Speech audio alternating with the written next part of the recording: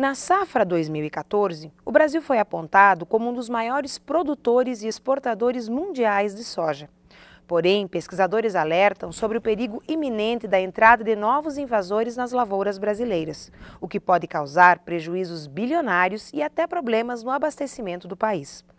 Uma das mais preocupantes é a Helicoverpa armígera, nome científico da lagarta que assombrou os agricultores brasileiros nas duas últimas safras. Esse ano nós gastamos aí é, muito no controle dessa não só dessa lagarta, é, é, essa lagarta foi um problema, mas em função de outros, outros tipos de lagartas, nós tivemos também que investir bastante. A lagarta não é fácil de ser identificada a olho nu.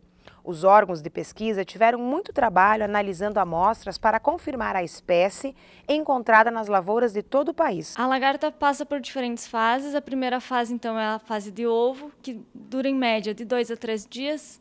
Tem a fase de lagarta, que ela vai passar por diferentes instar, depois ela vai passar pela fase de pupa e depois ela passa pela fase de adulto, que então a gente tem a mariposa.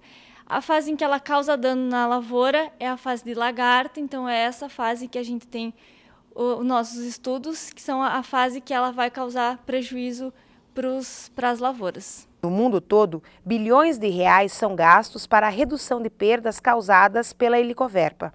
A preocupação e os danos causados por esta praga motivaram uma pesquisa aqui na UPF. Uma, uma espécie que se adapta a uma ampla faixa de de condição ambiental, principalmente temperatura, e aqui no Brasil não há limitações nesse sentido para ela. Possivelmente ela desenvolva uh, mai, um maior número de gerações nas regiões mais quentes, por exemplo, no Brasil Central, e um menor número de gerações onde o inverno é mais rigoroso, como é o caso do Rio Grande do Sul. UPF, a universidade da nossa comunidade.